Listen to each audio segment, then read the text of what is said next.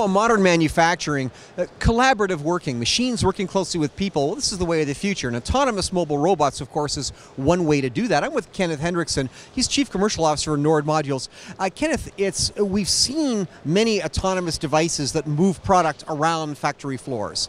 And now they sort of, they dodge people, they work around people. But it's not enough just to have a platform that moves to make a factory, is it? No, that's true. You need something to put on the top of the robot to be able to bring some value into the companies. And uh, oftentimes uh, in the past, there were not any standard modules. That is what we are bringing to the to the MiR robots right now. Uh, so the integrator or the distributors, they can easier uh, execute on their their plans and they don't have to make a lot of engineering and safety approvals so, and so on. So what we bring to the market is standard modules for the MiR robots that is already safety approved. Now, here at Automate 2019, we see many solutions involving palletizing, pick and place, things that take a product from assembly line and perhaps put it in a box, and perhaps put that box onto a pallet.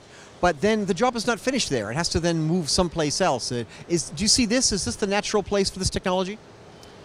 It is absolutely perfect fit for moving products around inside a, a factory. Um, you, you now you don't have to worry about uh, manually moving the products around, which can cause some safety issues and so on. So now you, you basically have a mobile robot that can work around people, and if it comes too close to a person, then it will automatically stop and uh, wait until the person is away from the uh, walkway and in that way it's very safe to work with. And you you take away the manual work from the people so they don't uh, hurt their backs or something like that. Uh, and then they can do something that creates more value to the company instead of moving around the products.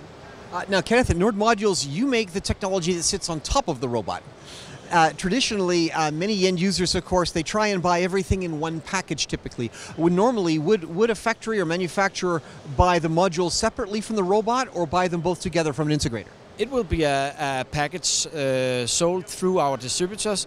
We sell uh, through uh, the same distributors as MiR do.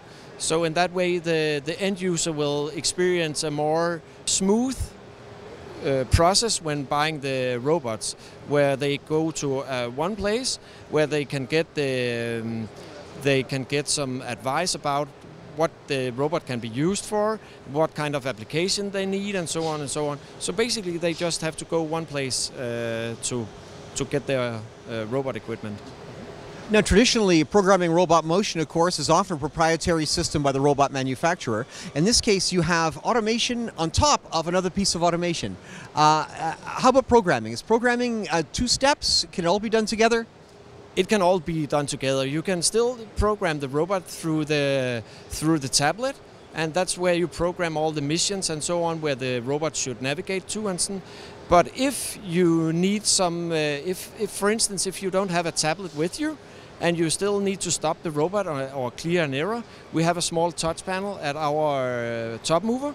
So you can delete an error or you can either uh, change uh, the mission for, for the robots to go to another place uh, instead of the one that it was heading towards. So in that way we, you can actually navigate the robot a little bit on our touch panel.